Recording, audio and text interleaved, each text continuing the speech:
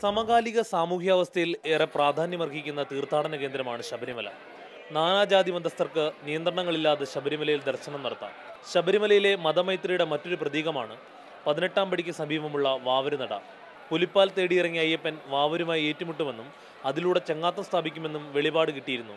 ബലപരീക്ഷണത്തിലൂടെ വാവരെ മനസ്സിലാക്കിയ അയ്യപ്പൻ തന്റെ ദൗത്യ നിർവഹണത്തിൽ അദ്ദേഹത്തെയും കൂടെ കൂട്ടി. ഒടുവിൽ അയ്യപ്പൻ കുടികൊള്ളുന്ന സന്നിധാനത്തിന് സമീപത്തായി വാവരെയും ഇരുത്തി എന്നതാണ് ഐതിഹ്യം. വാവരും അയ്യപ്പനും തമ്മിൽ തമ്മിലുള്ള സൗഹൃദം മനുഷ്യ സമൂഹത്തിന് ഏറ്റവും പ്രധാനപ്പെട്ട രീതി ഐതിഹ്യമായിട്ട് പറയുകയാണെങ്കിൽ ജാതിമത ഭേദമില്ലാതെ രീതിയിൽ തീവ്രവാദ ചിന്താഗതിയില്ലാതെ മനുഷ്യൻ ഒന്നാണെന്ന് കാണാനുള്ള ഏറ്റവും വലിയൊരു സംവിധാനമാണ് വാവര സ- സംവിധാനം അയ്യപ്പ സന്നിധാനം വാവരുടെ പിന്തലമുറക്കാരെന്നറിയപ്പെടുന്ന പത്തനംതിട്ട വായ്പൂര് വെട്ടപ്ലാക്കൽ കുടുംബത്തിലെ തലമുതിർന്ന അംഗത്തിനാണ് വാവരുനടയിലെ മുഖ്യ കാർമ്മിക സ്ഥാനം. കുരുമുളക് സുഗന്ധദ്രവ്യങ്ങൾ അരി എന്നിവ കാണിക്കയായി ഭക്തർ സമർപ്പിക്കും. അരി ചുക്ക് ജീരകം ഏലക്ക എന്നിവ പൊടിച്ചുണ്ടാക്കിയ എരിവുള്ള പ്രസാദമാണ് ഇവിടുത്തെ പ്രസാദത്തിന്റെ പ്രത്യേകത.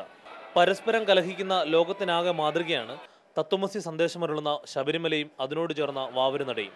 ക്യാമറമാൻ ബിജു വി എസിനൊപ്പം ജോസി ബാബു മാതൃഭൂമി ന്യൂസ് സന്നിധാനം.